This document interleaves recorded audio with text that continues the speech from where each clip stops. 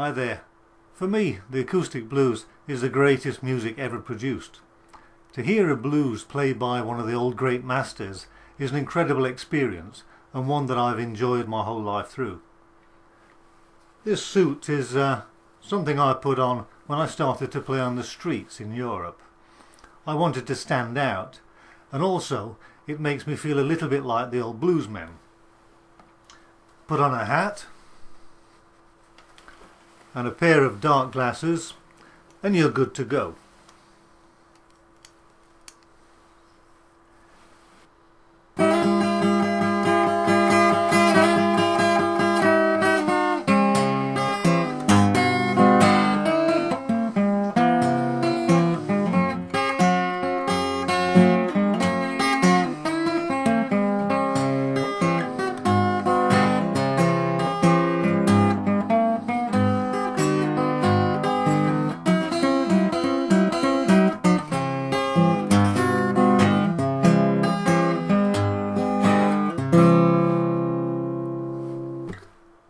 Well as the great legendary bluesmen that we all know, such as Lightning Hopkins and Robert Johnson, there are many, many minor bluesmen that uh, have incredible guitar styles, and many of these are featured in my course.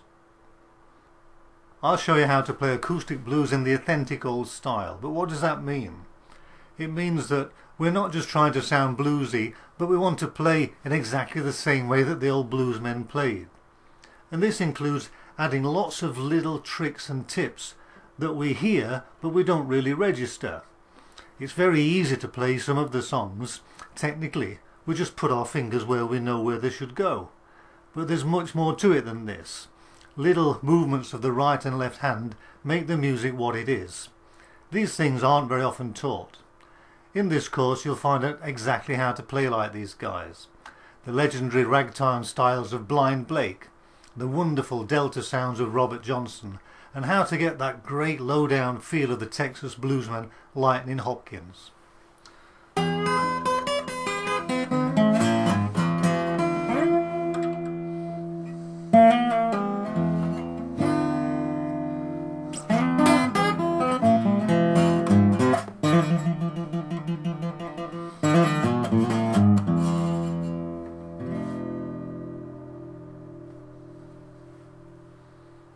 This piece opened with a piece of a Big Bill Broonzy song.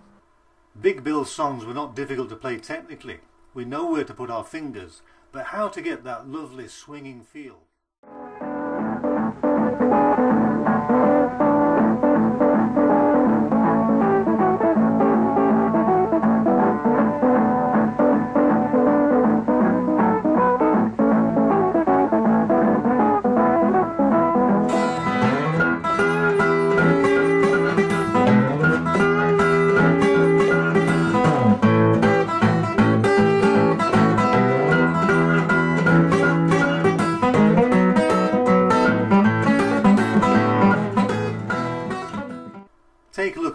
Previews further on down the page and have a good look around.